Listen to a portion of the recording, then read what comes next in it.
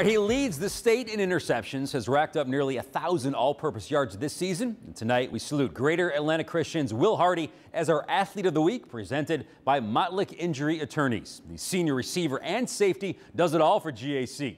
He's accounted for eight interceptions, 117 tackles, three block kicks, two forced fumbles, along with eight touchdowns, including two defensive scores. Hardy grew up around the game. His dad is a coach, and his brother, two years older, always played football. Hardy always envisioned playing college ball, and next year he will have that chance as he heads to the University of Virginia to continue his career. And that means, for the first time ever, he will be on the opposite sideline from his brother, a University of Richmond quarterback. We actually play two times while I'm there.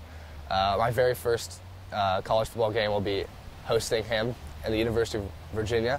Uh, so that would be a really cool experience. All of our family will be up there for that one. I keep telling him I'm going to pick him off or, or sack him. He thinks he's going to run right over me, and so we'll see what happens. Oh, that's so cool. Can't wait for the trash talk to continue. Uh, Hardy carries a 4.5 grade point average and scored a 1470 on the SAT. He is a student leader at GAC. And keep in mind, folks, uh, you get to vote for the Athletes of the Year at the end of the school year. And at that time, Montlick Injury Attorneys will donate $5,000 to the winner school.